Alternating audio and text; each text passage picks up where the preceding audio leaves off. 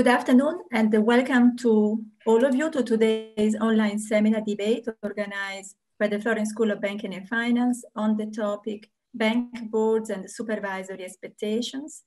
My name is Elena Carletti. I'm a professor of finance at the Bocconi University and I'm also a board member or a non-executive director of UniCredit.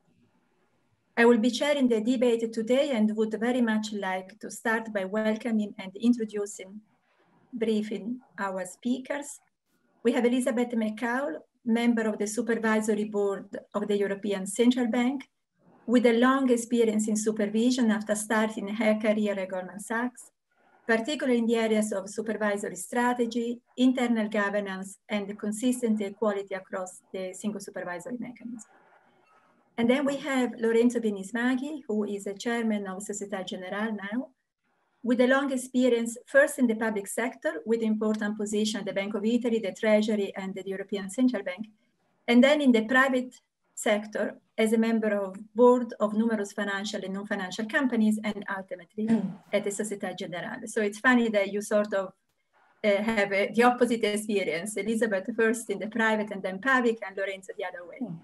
So thank you very much to both of you for joining us today we are really grateful that you have the possibility to talk to us in this seminar. So before giving the floor to you, let me briefly explain the background for today's seminar. So those of you that follow the seminar of the school may have noticed that the title and the topic is a bit different from our usual seminars. So today's event launches a new initiative, a new seminar series for the META called Challenges for Bank Board Members, which will lead up to the first training activity for board members in this new initiative called Bank Board Academy for Non-Executive Directors, which will start uh, as a training in June 2021.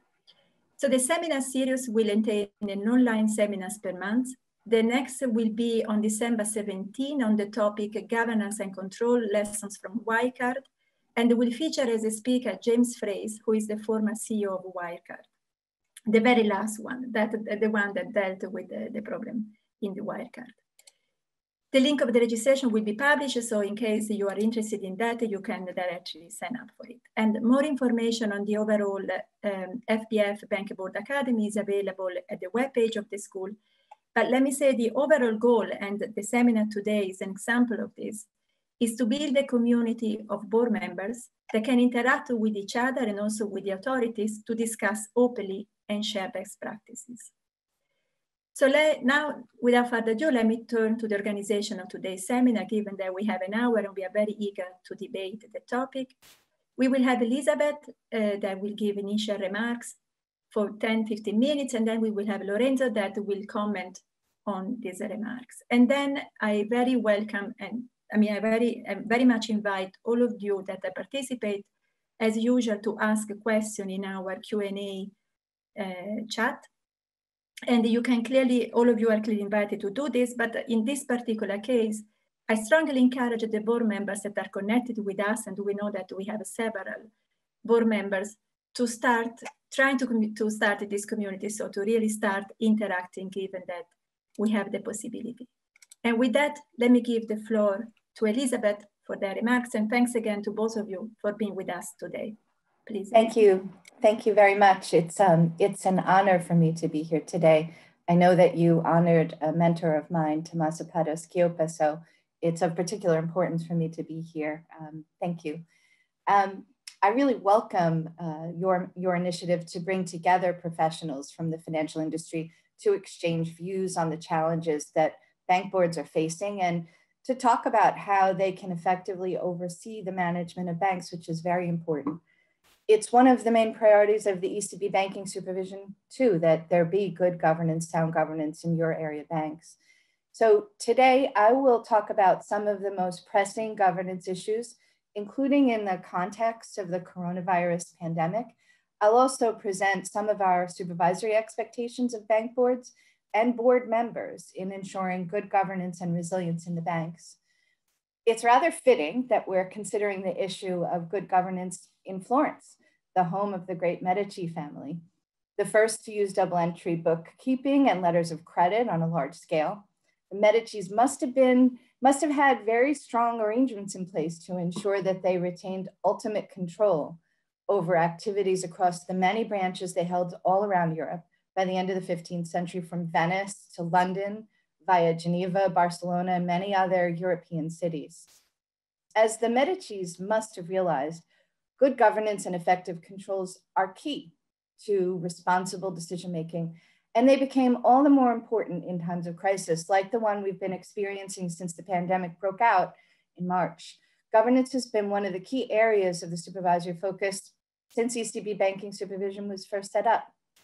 A bank's resilience and its likelihood to withstand a crisis are ultimately determined by checks and balances at all levels, together with a clear organizational structure, well-defined lines of responsibility, and effective risk management practices.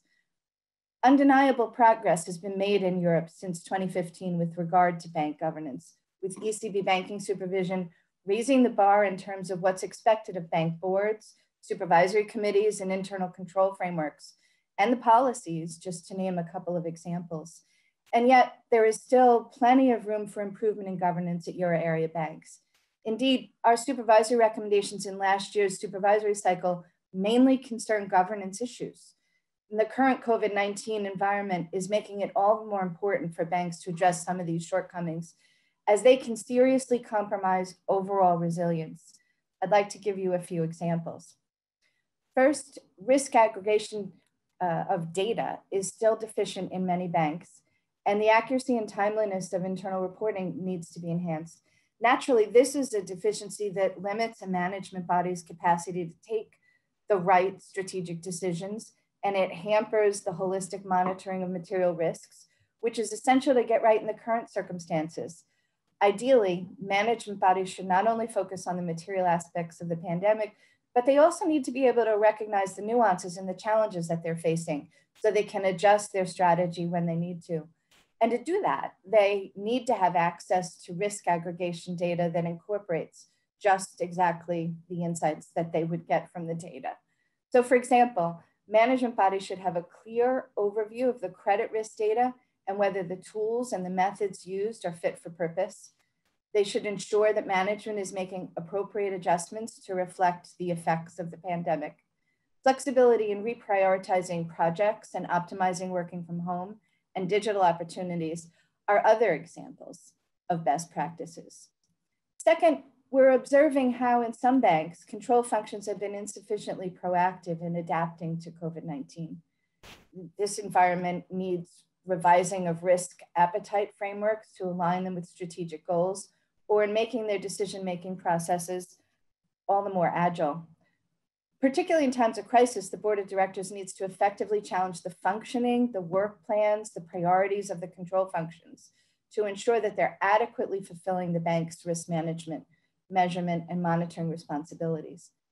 An effective board of directors requires strong support structures and should be able to demonstrate evidence of independent oversight of the control functions. That's risk, compliance, AML, internal audit.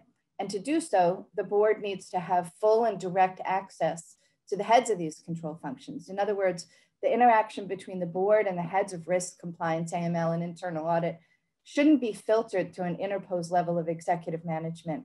And likewise, internal control heads should report regularly to the board and to the, reg and to the relevant committees.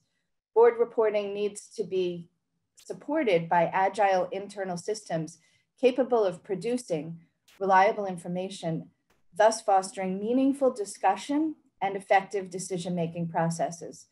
So in this context, it might be necessary to overhaul legacy IT systems and integrate bank subsidiary systems and head office infrastructure to strengthen the support structure and to eliminate gaps or the possibility of having inaccurate information. And finally, effective boards should have access to independent research and the right to initiate such research even outside of the bank's regular channels. Depending on the size and the structure of the bank, we've seen some cases where a dedicated and well-staffed secretariat or a governance function is augmenting the power of the board to challenge. And in other cases, an internal function that oversees the most pressing priorities within the bank's organizational structure can significantly improve the strategic ability of boards to steer. I'm thinking uh, here, course, being um, with you in Italy of Organizzazione and the power of Organizzazione. Next, I would like to turn my attention to effective challenge processes. As supervisors, we expect non-executive directors to constructively challenge executive directors. We sometimes hear non-executive directors express concerns of two varieties. First, that the supervisor expects directors to provide so much oversight that it makes it look as though the directors are regularly stepping into management roles. And second, that management sometimes characterizes directors' efforts to understand and steer as blurring the separate roles of management and directors. And this results sometimes in management resisting them. So these, if we think about it, these are two sides of the same coin and context provides the backdrop for responding to these concerns. In every context, we expect non-executive directors to serve as a compass for the bank, providing strong, constant direction in both calm and rough waters by ensuring independent oversight of management proposals and decisions. In normal times, such oversight mitigates financial and reputational risks. This requires board members to be given adequate insight into detailed information. And in times of stress or crisis, effective non-executive directors, especially those that are in key board positions such as the lead independent director, members of risk and audit committees, are often called upon to provide even more intensive steering of the ship. In the COVID-19 environment, this translates into strong oversight to avoid credit risk opacity and to deliver clarity on the trajectory of capital resulting from macroeconomic developments. It also means thinking about strategic plans regarding the best positioning for the bank in the context of the landscape as a whole. This entails providing strategic direction in navigating the consequences of the lockdowns for the economy, together with the associated impact on borrower creditworthiness, balance sheets, capital, operations in the face of the restrictions. And consolidation is one area that would allow banks to strengthen their, their positioning. So to live up to the task of navigating, the board as a whole must have the right expertise and diversity of experience. I recall here that the Medici success was based on diversification from more than just size, and it was very different from earlier Italian banks. Board members need to have the gift of versatility, should not be comprised only of experts from similar backgrounds. Broadening perspectives and crafting outcomes that might not be imagined if groupthink takes over comes from drawing on a myriad of backgrounds and experiences.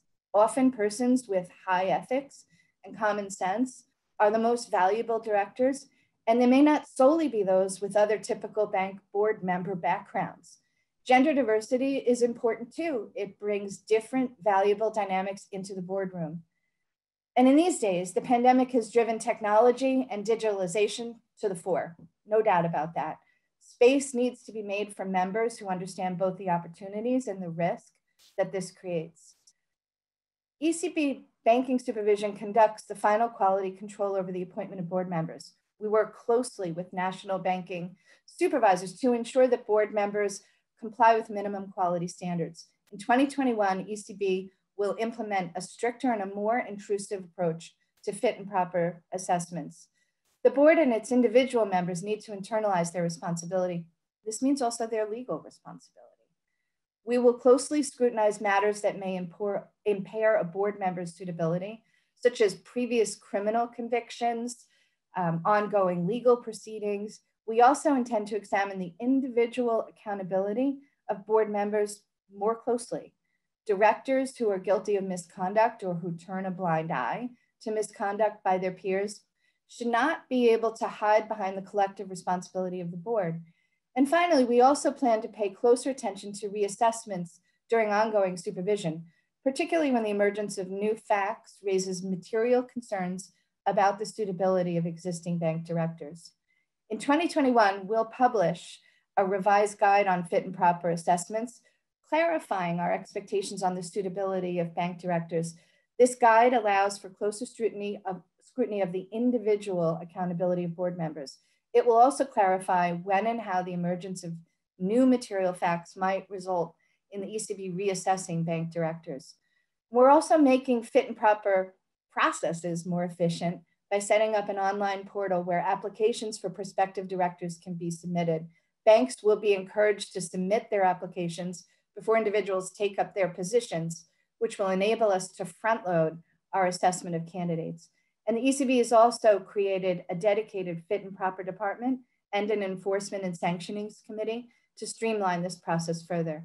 But while the aim is for rigorous fit and proper criteria to be applied equally across all the euro area banks, unfortunately, we have to recognize that the implementation of these criteria is not currently harmonized across all euro countries. The EU legal framework applicable to fit and proper assessments still fragmented, reflecting various implementation of the CRD across member states. Diver diverging national standards should not undermine supervisory efforts, though, to pursue stronger governance structures in the supervised banks.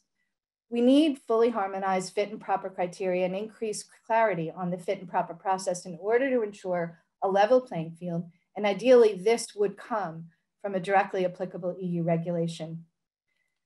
In times of crisis, the role played by boards becomes all the more important. They need to be attuned to the possibilities of the future. They need to be aware of the risks of the present. And through it all, they have to carry out effective oversight of the management function. And they must ensure that strong control functions and a sound risk appetite framework are in place at all times, but all the more so during a crisis where good governance can mean the difference between a bank that merely wobbles and a bank that ultimately collapses. After all, it was precisely a lack of strong control over the strategic direction of their banking empire that led to the decline and the fall of the Medici themselves. Thank you. Thank you very much. You touch a lot uh, topics that I'm sure we will come back to. Let me just say that we are actually planning a, a seminar on the new fit and proper of the ECB in next February. So we are already in contact with the new head of department of the fit and proper. So we will have a full discussion on the new Wonderful. criteria. And for that, let me give now the floor to Lorenzo, please. Well, thank you very much for, for inviting me. Um, uh, to participate to this uh, discussion, which um, I hope is the beginning of a, of a dialogue. Um, as, as, as um, I, I, think it's important to understand and to assess how certain rules and principles are defined and supposed to be implemented and how they are implemented uh, on, on the ground and, and whether the way in which they're implemented um, may be improved uh, or or the way in which they're implemented suggests that maybe uh, some of the rules uh, would need to be to be to be adjusted. Um, I think um, just as a as a to mention a few observations. Indeed, uh, since the creation of the SSM, um, major changes uh, have taken place in Europe, and um, it has been a huge uh, a huge endeavor. And um, and and boards have um, have had to uh, to do their their own tasks uh, also in uh, adapting to the new uh, procedures. I mean um, uh, banks were mainly used to interact with the national supervisors. Uh, then they moved to interact with the european supervisors. Um, and so the effort of adjustment has been has been huge. Uh, and I think it's uh, to the benefit of the whole banking system. If now we have uh, uh rules and procedure which are harmonized throughout uh, uh, the continent. But um, this has entailed a lot of work over the past few years, and we see in the, these first few months of the biggest crisis, I guess, since uh, uh, over the last century that uh, the work which has been done has been useful because the resilience of the banking system so far at least shows that um, that this work has has has been quite quite good. Um, I, I, think that, uh, as I said, I hope that this is is also a dialogue because it's useful. Uh, it I think it could be useful for the supervisor to get some feedback uh, direct feedback, incidentally, uh, rather than indirect through the regular uh, uh, interaction that supervisors have with the banks. That often goes uh, through the regular procedures, uh, uh, through management, through the bureaucratic uh, reportings. Uh, so maybe a more direct dialogue and informal dialogue is useful to, to understand what can be improved on both sides and, and how things uh, work.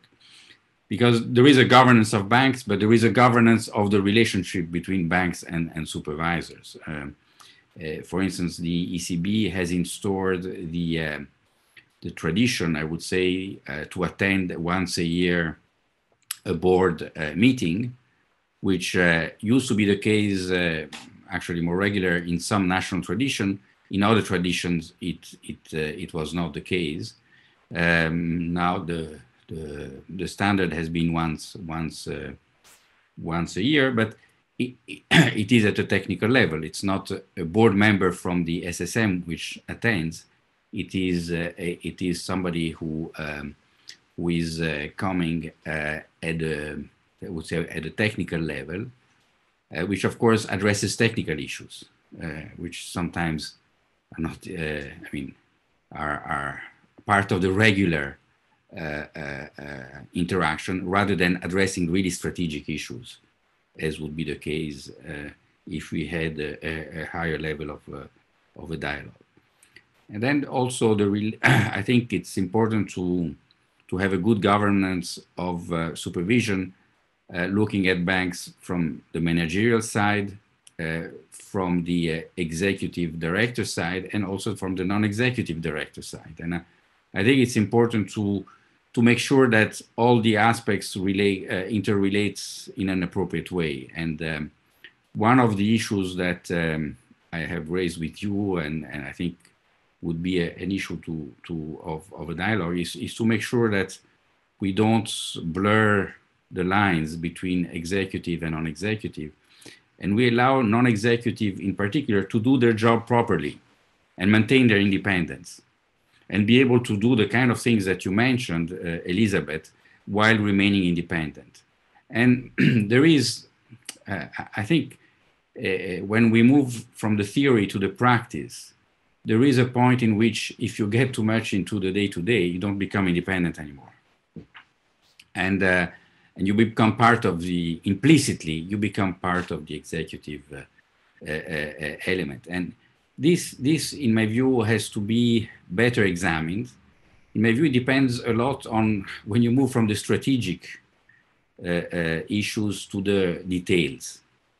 And the more you get into the details uh, the more and especially if you don't have the time to dedicate and you cannot have the time if you're a director uh, unless you become a, a, a, member of the of, of the management team, uh, the more you get into the details, the more you lose your independence, uh, and you're you're asked to ratify things that you cannot really uh, have a full mastery of um, of, of, the decision. So, um, I think when you come to the supervisory expectations for for the board in general, they cannot be of the same level of detail as for the management.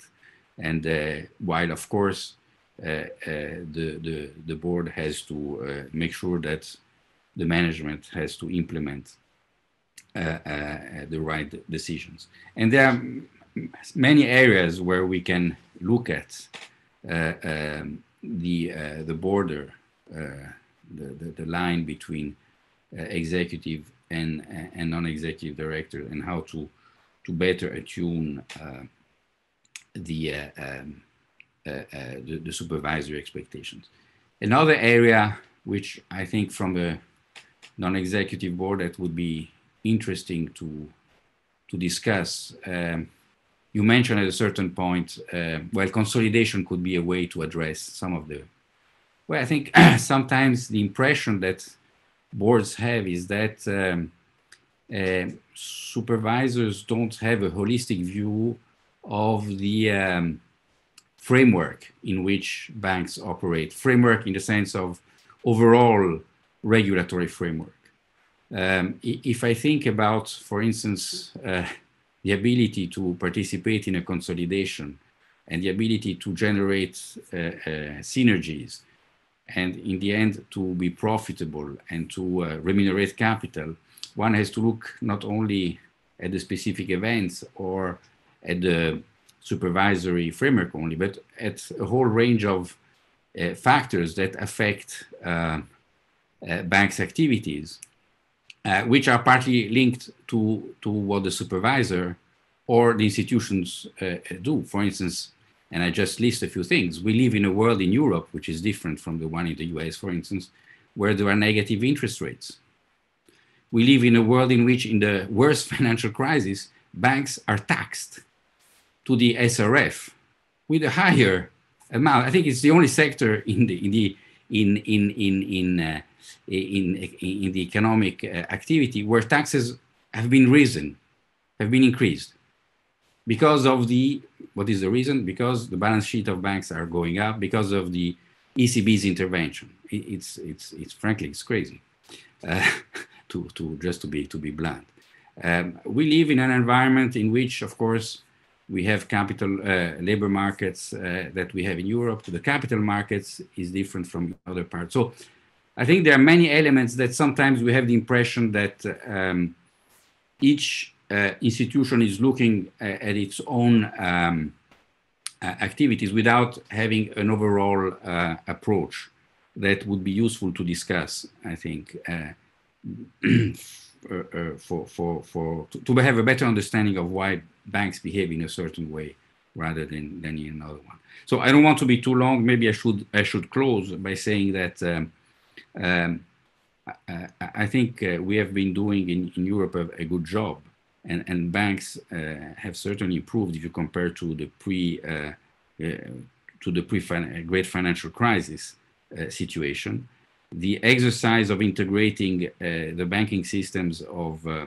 of 18 uh, or 19 countries has been huge. And I think we have contributed to, the, to, to that as also as boards. there is a lot of work to do also because we are facing a huge crisis. But I think it's important to, to look at this crisis also as an opportunity to try to uh, uh, to provide banks, which are the core of the financial system in Europe, because Europe is still a bankocentric uh, system, to make sure that this uh, bankocentric system is providing uh, services to the real economy, is uh, continuing to support the real economy, and is not penalized in, the, in, in, doing this by, by a series of constraints that ultimately run counter uh, the desire of the, poli- the, the, policy authorities, which is to, to have a, a, strong real economy, not only a strong and stable financial system. So I hope that this uh, would be uh, the basis for this dialogue uh, that, uh, that we will have with supervisors and others in the coming months. Thank you.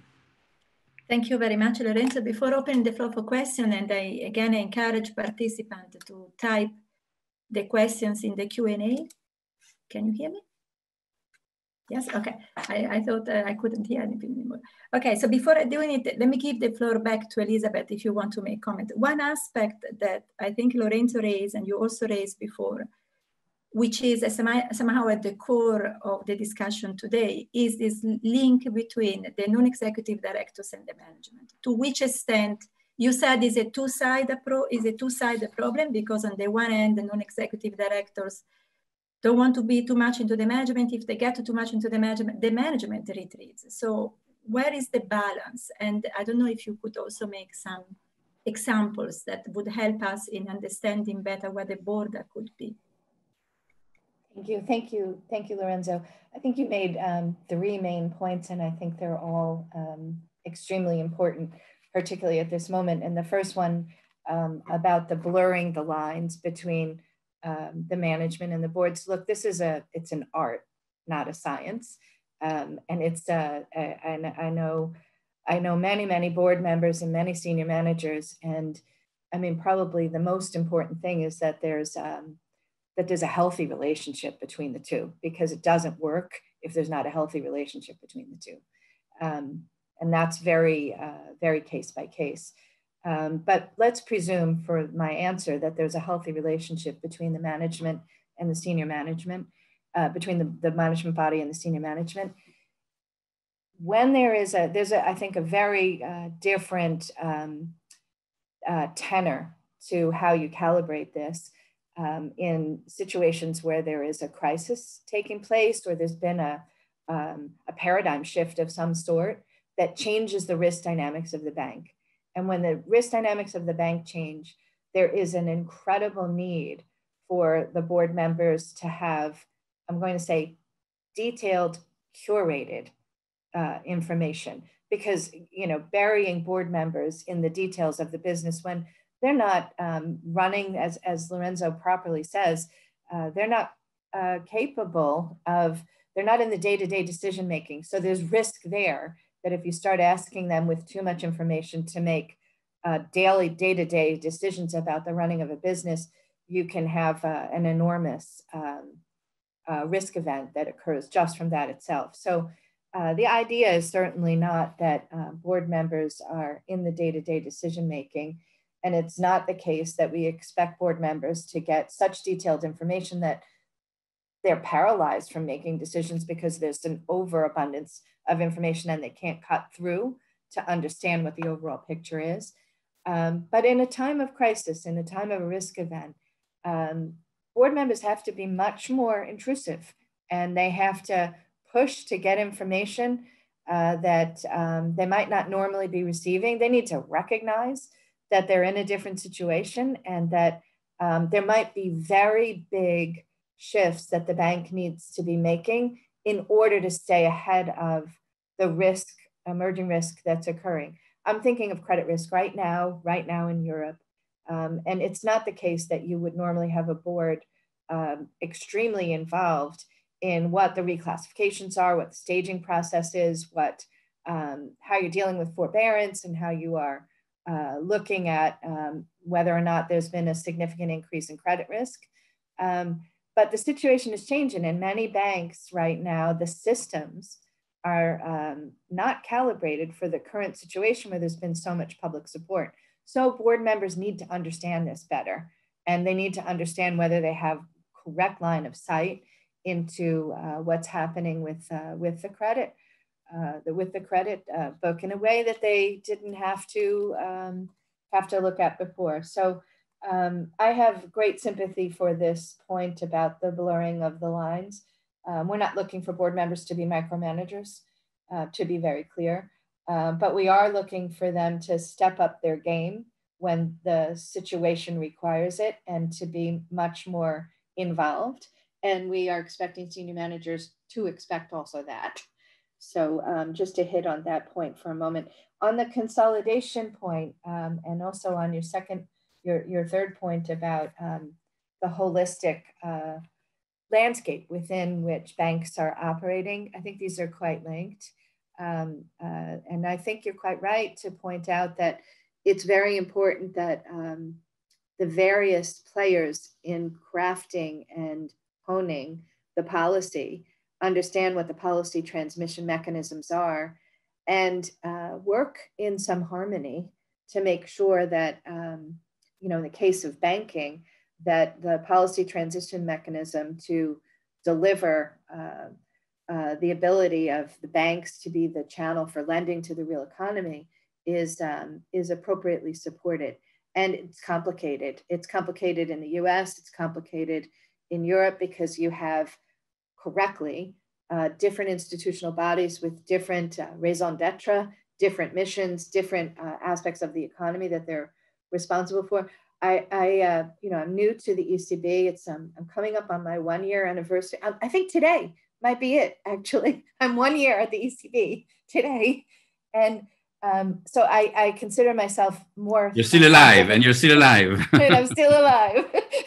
I've been a spectator really, and and an admiring one. What has happened through this year, it's been nothing short of extraordinary. The way the institutions have actually worked together, it's it's extraordinary to see it. Um, we don't have a financial crisis, and that's that's a, a testament um, I, I, praise all of the public officials that have been responsible for putting that together and the bankers um, for working very much uh, together in that process. And I'm looking forward to that happening in 2021 as well. Thank you, Elizabeth. Let me go to Lorenzo now for a question. So you mentioned this holistic approach and the fact, and you mentioned this tax that the banks had to pay to the to the SRF. But on the other hand, supervisors gave banks the possibility to use some of the capital and liquidity buffers that had accumulated. And in some way, banks did not make much use of that, at least if we look at the data. So the question is, do you think that somehow the boards gave a priority to shareholder over supervisory expectation because supervisory were expecting banks to do that to support better the economy. What's your view on this?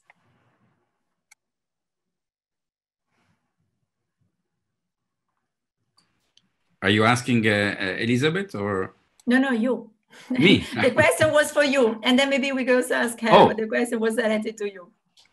No, I mean this is the big the big contradiction. I think um, that that I can understand from a policymaker having been in, in that world. I think what what what policymakers and supervisors would like now is banks to have enough capital to absorb the shock, but on the other hand to use part of the capital to support the economy. And there is some contradiction inevitably uh, uh, between these, these two objectives. And, and, I can, and I can understand both, but it's very difficult to achieve, to achieve both. Um, let me explain why uh, banks are not using a, a, a part of the capital uh, to, to, to, to really do even more. Uh, I think what, um, what sometimes um, supervisor, I mean, we uh, in boards that have to deal with, in the end, shareholders, shareholders, because we represent the interest of shareholders.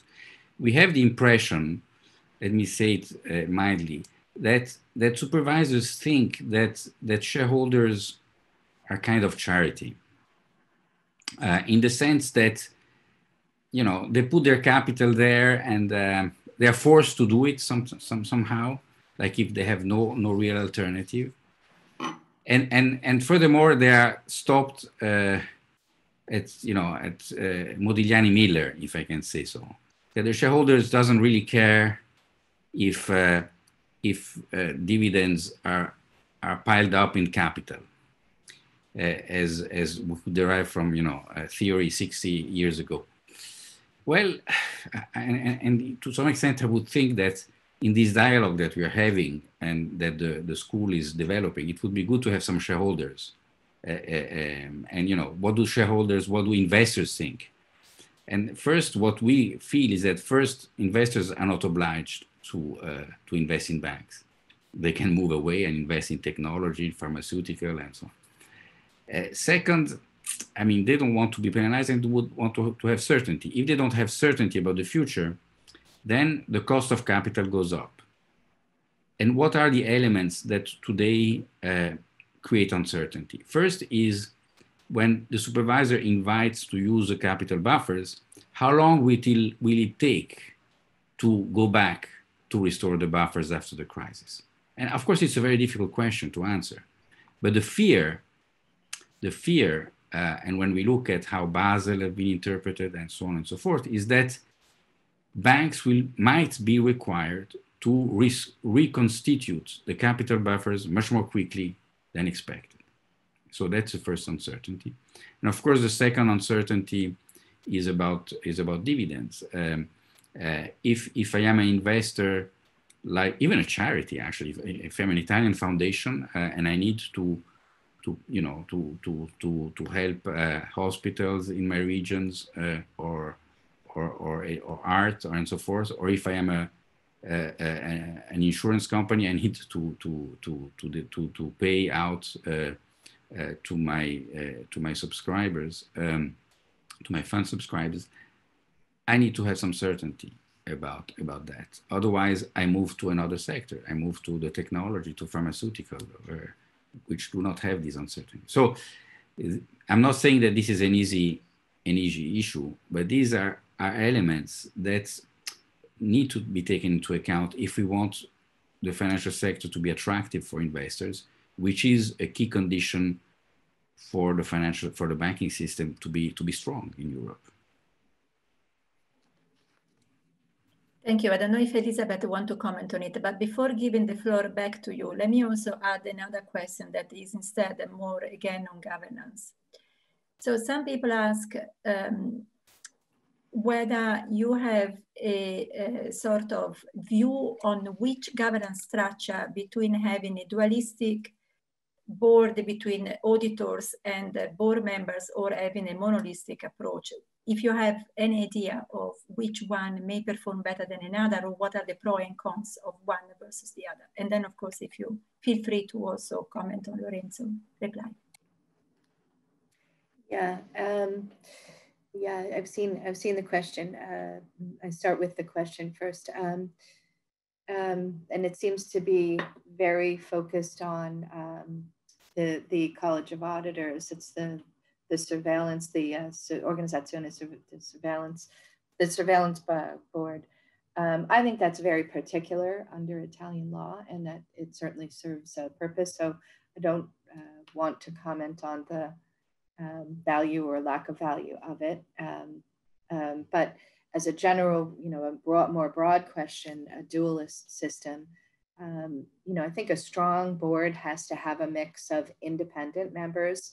Um, it, it, should have uh, some seats at that table that belong to uh, some board, uh, internal board people, especially, um, you know, the, the, the, the, seats, the seats that are the seats that are really responsible for running some of the businesses should have some connection that's very strong with the board, whether that's set up as a separate um, management board um, and that reports into the supervisory board. I think that's a that's a, a, a very good framework. Um, making sure that there's a supervisory board though that can penetrate um, the management uh, the management board and and the decision making there. Um, that's probably the the key component of it.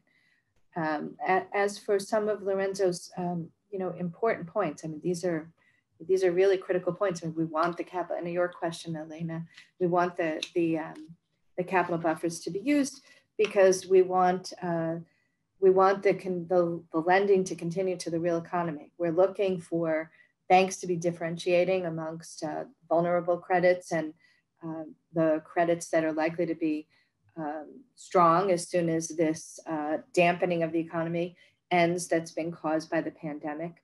Um, and if banks need to use their buffers in order to make though that lending to the real economy available, um, we have made that flexibility, um, I hope, very clear that um, they're, they're available to be used and that, um, and Lorenzo raises the point about certainty of when uh, they will need to be replenished. Um, we have said that we will not be requiring uh, the replenishment to occur in any um, short-term uh, frame. But you know, eh, probably the point is well taken. What does that mean, and what does it mean to different authorities? So um, I take that back to think about because if that's an impediment, it's something that we should really uh, look to make more more clarity about. Um, as for shareholders um, and uh, the connection point there um, on the capital levels, et cetera. Um, shareholders certainly are not charity, um, but we have to think about it in a very important context. Um, shareholders have also been quite the beneficiaries of uh, these very extraordinary public policy measures that have taken place. Um, and they know that and they're there um, because there's been that support. We're not in a financial crisis. We're in a situation where there have been um, extreme support to uh, to uh, the entire economy overall. So, um, uh, and this is to everyone's benefit. Um, so it's important to recognize that component. Um, and it's also the case that the banks have been beneficiaries of the asset purchase programs and the liquidity. And uh, we need to do that. We need to continue doing that uh, as long as it's needed.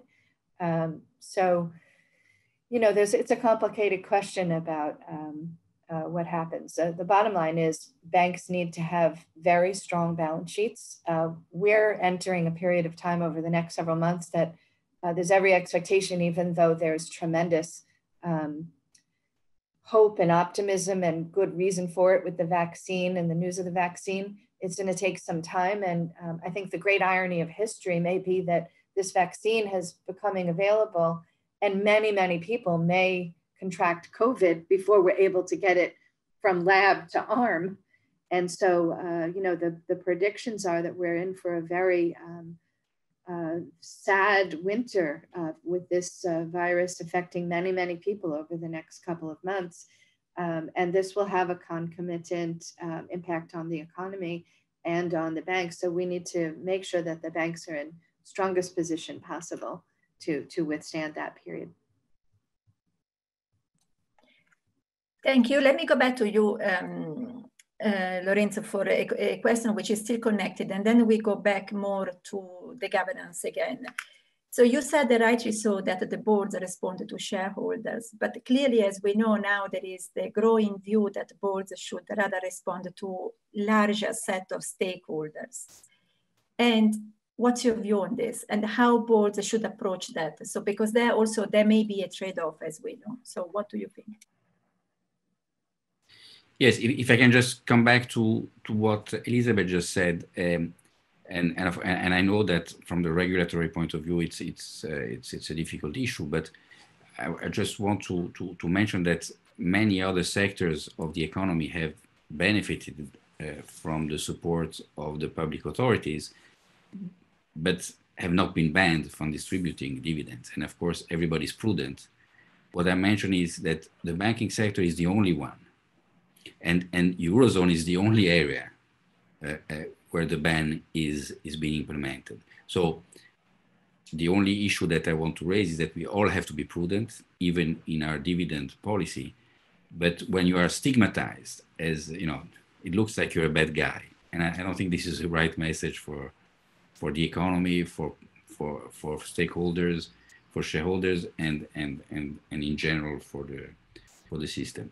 Now, moving to this trade-off, shareholders versus uh, stakeholders, I think it's these are are key issues. I think that uh, if you look at the medium term, uh, banks that have good governance, uh, that uh, address in the right way uh, stakeholders issues like ESG issues over the medium term will perform better.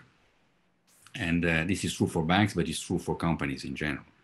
So I think what is important is to first engage with the stakeholders, explain your long-term strategy, explain, uh, uh, um, for instance, what are your environmental commitments, uh, explain how this is an opportunity for the bank uh, rather than a cost, uh, how uh, you are going to uh, to um, generate revenues, but also acquire leadership in certain areas. Like I don't want to make an advertisement, but for instance, we are the largest bank financing renewable energy. So to, if you if you do that, I think you can reconcile. Um, then there are some issues which are more complicated, and uh, for instance, cost cutting. And it, it's clear that banks are facing uh, very difficult times, and the, the, the, regulator actually is pushing us to uh, uh, to be more cost efficient, and this involves social social uh, effects, and these these have to be managed uh, consistently with the with the local uh, practices and rules um, and, and this is a, is, a, is, a, is a complicated issue for the sector as a whole in Europe because we know that uh, uh, in the end uh, we have to go through a, a more consolidated uh, sector. But uh, aside from, from that, I would say that uh, stakeholders of the medium term ask the right questions for us for, as banks. Thank you. And let me say also from an academic perspective, there are many studies showing that there is not necessarily conflict between a shareholder and stakeholder, as long as maybe it's not excessive, but it can be, it can be somehow um, put the two together. Elizabeth, let me come to you. There is a very, I think, interesting uh, question which deviates slightly from what we have said today. And you may have read it, but let me read it again how would you see the role of independent directors in the specific governance situation of wholly owned subsidiary banks, in which often the majority of the board seats are held by members of the parent bank? What's your view on this? Hmm. This is a different question, no? It's a yeah, little yeah. bit outside, out of the box. Yeah, it's not a question I've given a lot of thought to. Um, I suppose behind the question is do we think that there's enough independence from the subsidiary um, in the in that um, in that uh, unit? I mean, I, you know, I think it's important for the parent to have oversight and control over the subsidiaries. Absolutely. Um, uh, you know, especially where um, you have uh, an institution that has a, a broad international um, footprint, um, you know, it's going to be the case that the strength of support coming from the parent organization has to be clear and visible, has to be there. And in order to do that, they need to have line of sight into what the risk is that's emerging at the subsidiary. Um, that's on the one hand. On the other hand, um, a subsidiary also, uh, let's go outside of Europe, if, if we may, um, has to operate in another uh, regulatory environment.